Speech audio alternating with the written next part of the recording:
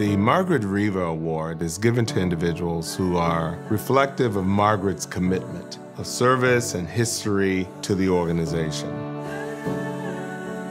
We are honored to present this award when indeed there are notable individuals who are deserving of one of our highest honors.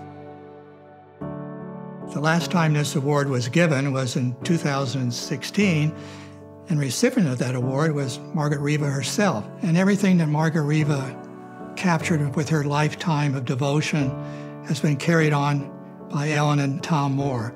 I think there's probably unanimous agreement among people who know them that this is an award they truly, truly deserve.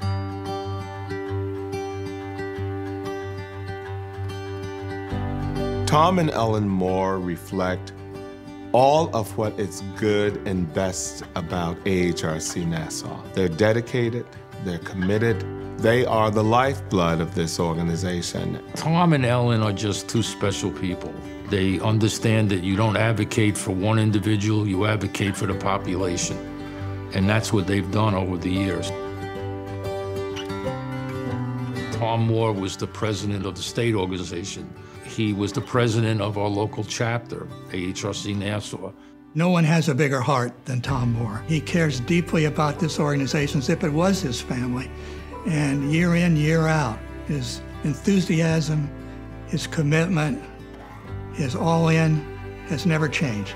And I think it ever will change as long as he draws breath.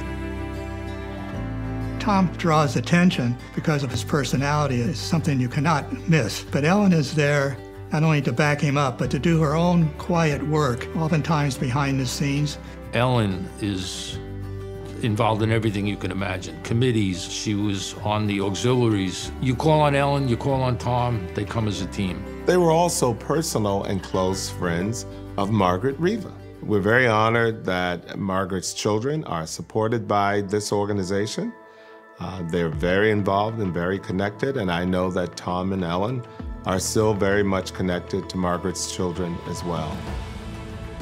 They are what I would call people who are always willing to go the extra mile. And it is not an overstatement to say that we would not be where we are today without people like Tom and Ellen Moore, who have given so much of themselves to ensure the success of others.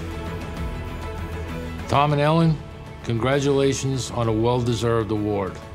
Couldn't have gone to two better people. We are all very grateful for what both of you have done to carry forward the mission over your many years. And I'm sure for many years to come, you will continue that work.